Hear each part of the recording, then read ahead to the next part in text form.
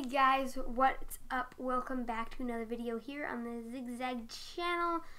Um, today I'm just going to do a very, very quick tutorial on how to make a Panzoid thumbnail because I need to make one for a video um, that I'm about to upload. So yeah, so here's basically what you're going to do. You can go here. This is I'm gonna, this is just a tutorial for making a thumbnail. So just click YouTube thumbnail then you're gonna go to this is how I do it this is how I like to do it. You go generate an image and then gradient and then just pick a bunch of random colors. The randomer the cooler it looks. Orange actually that would look cool.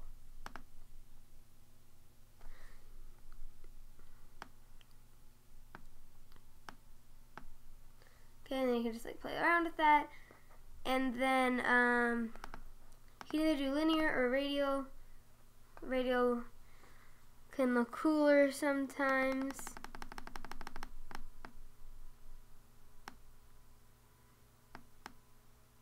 So yeah, I'm just to move it closer to center.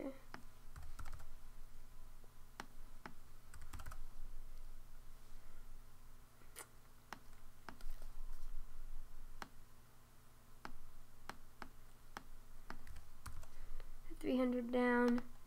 What? Okay, well, I just accidentally clicked. Oh, I accidentally clicked tutorials. Okay, so then that looks pretty cool. So I'm to go layer 2, preset texture or pattern. Then you're just to do that. And then turn down the opacity. And this makes it look a bit cooler.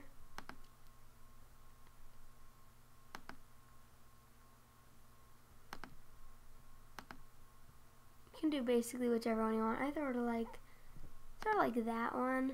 I'm gonna turn it down. I sort of like how bright this is though. It's like eye catching. You want your want your thumbnail to be eye catching. Um, I think I'm gonna do that one. Turn it up one. Okay, and then you're gonna go to text plus images. Overlays are basically you don't really need that. Um, then you're going to click text and then you're going to just put, mine is for a giveaway, so I'm just going to put giveaway, all caps. And you're just going to look through this, find font that you like. Um,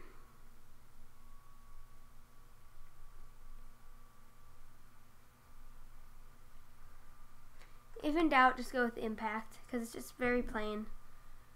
I think that's what I'm gonna do. Okay and then um, color I'll deal with next but first go font size. I think 400 will be good. Text shadow on and I usually do about 30 actually know a bit more I think I'm gonna do 60 yeah that looks awesome. Um, then you're gonna go here gonna click on that and then edit it and I think I'm gonna do blue. That looks cool. Then you can do another one at that corner. Then you can go right here. You can do white. You don't have to do this. This is just how I do it. Do that um, gradient angle 90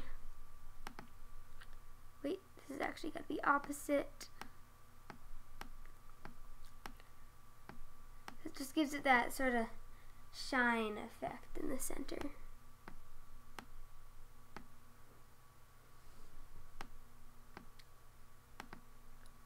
That kind of sorta.